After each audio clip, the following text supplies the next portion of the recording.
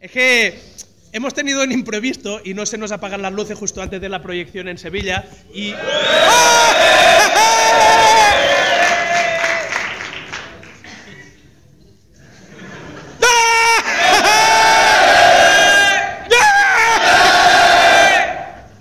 ¿Pero qué sabéis tomar?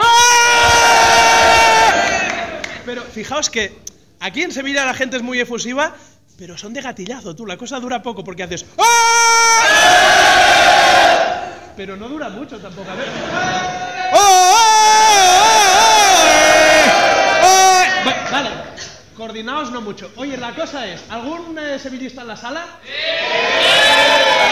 ¡Eh! ¡Viva el Sevilla! Pero el domingo vais a palmar. Mucho ánimo, viva Monchi, que ganéis la Europa League cada año, pero dejadnos la Copa del Rey para hombre. Oye, ¿y, del- ¿y hay alguien del Betis? Bueno, yo... Oye, Horacio, ¿lo has solucionado o no? Es que ya no sé qué más contario, ¿eh? Tal señora, ¿cómo estamos bien? Aquí San Juan al aparato, corriendo a las afueras de Sevilla, no sé exactamente dónde ni hacia dónde, pero bueno, luego ya encontraré el hotel. Aquí son las doce y media de la noche, nadie regala nada, mañana a las 7 de la mañana suena el despertador, pero como dentro de tres o cuatro días nos vamos ya para Ecuador a correr 240 kilómetros para todo el tema del terremoto, hay que entrenar como sea. Así que señores, a darle fuerte que no regalan. Cago en la puta, me he motivado a correr por Sevilla tanto que al final se me ha acabado Sevilla, joder. Me he pasado Sevilla. ¡Ya! Bueno, hombre, y para que veáis que soy un cafre, que a la una de la mañana estoy corriendo y entrenando, pero aunque tengo ganas de irme a la cama, primero, aquí, estirando un poco cuádriceps, que tengo las piernas tiesas. Y la semana que viene tocan esos 240 kilómetros por los terremotos de Ecuador. Así que, ay, espérate, cambio de pierna. Como estoy ahí un poco tieso, hay que estirar o va a ser imposible conseguirlo. Lo primero que he estirado son los isquios, que es lo que tengo más acortado y jodido.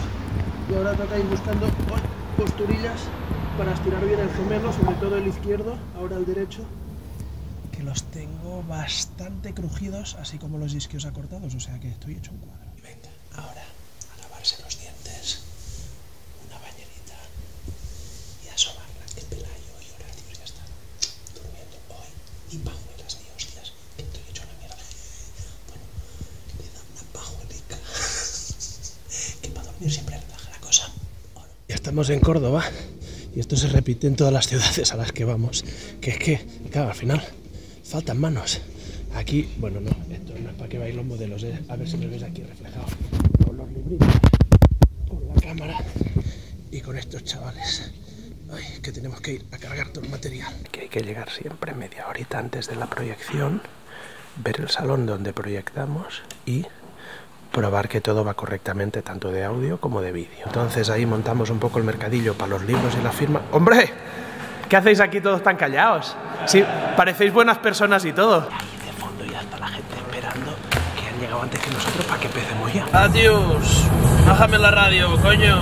Que es que me enfadaría pero no puedo. ¿Qué pasa? Ah, no me quedan fuerzas. Estamos destrozados.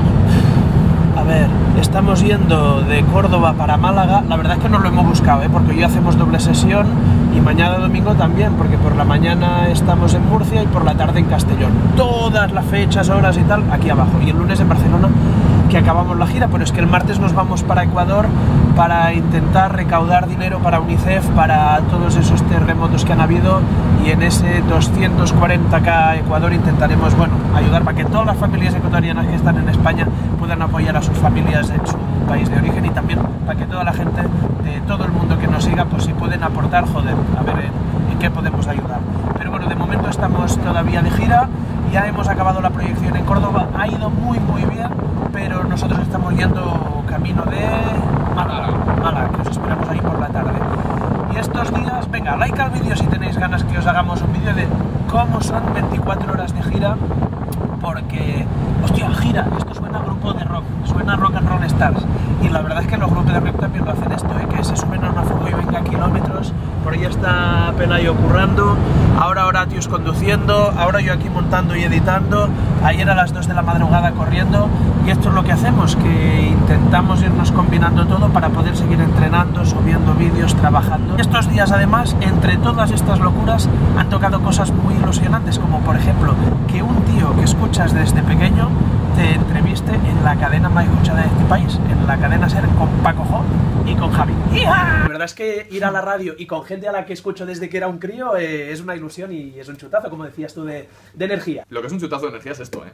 El librito este tuyo. El libro, sí, sí, la verdad es que es un libro que está escrito eh, con muchas ganas, con parte de corazón, con mucho optimismo y mira, los que hemos llevado una vida que nos ha tocado sufrir, pero también disfrutar y yo creo que en definitiva sentir pues muy a fondo, lo sacamos por donde podemos y a veces lo sacamos en carreras, a veces en vídeos y a veces en libros y así ha salido Vivir es la polla. En ocho meses su madre murió de cáncer, le echaron de Cataluña Radio, de la empresa que estaba montando con unos amigos, su novia le dejó y el banco casi le desahucia. ¿Cómo se sobrevive a eso, Valentín? Pues eh, se sobrevive con necesidad. Muchas veces me preguntan, oye, ¿y ahí de dónde sacaste la motivación? Porque claro, salía de una y me metía en otra. ¿Mm? Y pues la verdad es que en los momentos de estrés, sobre todo de ansia, que por las noches me despertaba a medianoche, eh, sin un duro, sin familia, sin pareja, sin amigos, bastante jodido, la verdad. Y en esos momentos, cuando no podía dormir por la noche, pues mira, 3 de la madrugada me calzaba unas zapatillas y a correr. Y había hecho fricadas tipo irme a Plaza Real, a Barcelona, al Jamboree. Salíamos con los colegas a tomar unas copillas y a las 3 de la madrugada, cuando se iban todos para casa borrachos, yo me iba al lavabo, me ponía la ropa de correr y me volvía a casa corriendo, medio haciendo eses, ¿no? Pero ya te digo que, que más que de dónde salió la motivación, mira, de esa se salió porque hay que salir, no, no te puedes quedar ahí en el hoyo porque no es opción y ahí dándole, dándole, dándole a través de necesidad, muchas ganas, optimismo a veces también de sufrirlo, pero mira, convenciéndote a ti mismo que hay que tirar para adelante y darle feliz. Pues venga, señora, like en el video que si tenéis ganas que os enseñemos 24 horas de gira, eh, cómo dormimos, cómo trabajamos, cómo las pasamos más putas que caen y cómo sobre todo somos muy felices y lo disfrutamos mucho, porque estos días entre entrevistas, viajes a sitios, firmas, ha sido un no parar, ¿o no? Hostia, yo no puedo más. No me lleve la contraria, ¿eh? que no tengo fuerza, pero para canearte igual a un... No hace falta.